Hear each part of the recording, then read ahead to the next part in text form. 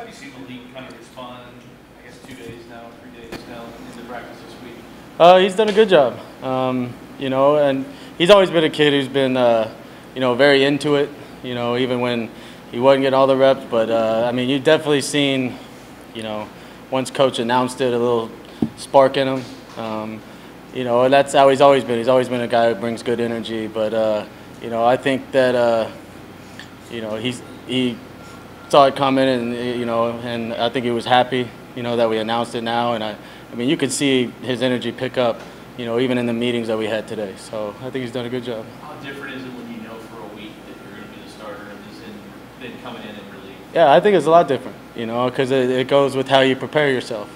You know, and now he's got a, um, he's taken a lot more reps. You know, in practice, and uh, um, you know, it helps out. You know, mentally throughout the week, really preparing yourself, ready to play. You know, obviously we always want our backups ready. You know, they're preparing themselves to play, but it's always in the back of their mind that they might not, you know, get in. So I think it's a big difference knowing that he's going to be the one going out there the first play. Um, you know, obviously there's a part of it that he's going to have a little nerves his first start. You know, so there's that side of it too. But uh, you know, having the whole week to prepare himself for it, I'm sure that will help with that part of it.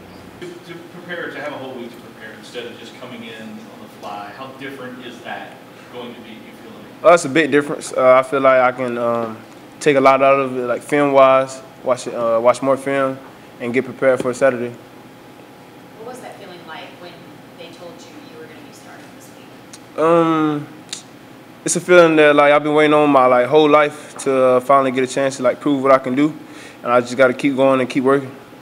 What, uh, what does Malik emotionally bring this team? Uh, he just brings a lot of energy. You know, being a younger guy, a guy who's been in a position where he hasn't really played much, and then come in and start. Um, you know, he just brings that energy and that, that fire that we need from a young guy like him.